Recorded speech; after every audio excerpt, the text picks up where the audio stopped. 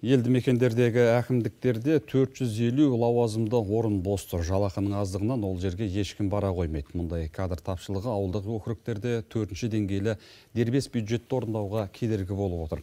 Бүгін мәжілісте үкімет сағаты өтіп, ұлттық экономика министрі Руслан Дәленов халық саны 2000-нан асатын 1055 ауылдық округтың дербес бюджетті жүргізу тәжірибесін баяндады. Министрдің айтуынша қазір Қазақстандағы бір селолық округтың орташа бюджеті 125 миллион теңгенің төңірегінде. Тіпті бюджеті 1 миллиард теңгеден асып кететін елді мекендер де бар.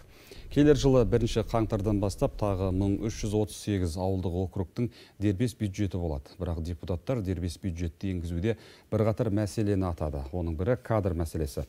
Ауылға заңгер мен бухгалтерлер жетіспейді десе, мәжілісмен Уәлихан Қайназаров ауыл әкімдерінің кәсібилігіне күмән келтіріп отыр. Среди сельских хакимов есть немало людей, у которых недостаточно знаний в области финансового права. Ауыл әкімдері арасында қаржылық сауаты жоғары адамдар өте аз. Мысалы, орта мектептің сурет пәні мұғалімі ауылдың әкімі болып тағайындалған жағдайда болған.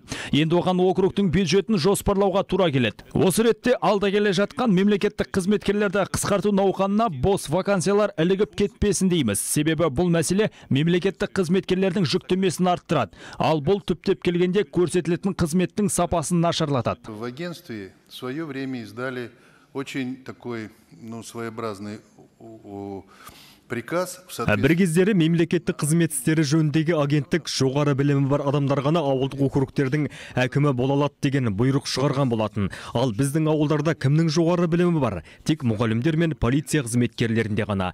Бізде орта білімді қаржылық өмірлік тәжірибесі бар адамдар бар. Бірақ сол бұйрық оларды ауыл әкімі лауазымына тағайындауға мүмкіндік бермейді. Сондықтан бұл шешімді қайта қарауды ұсынамын.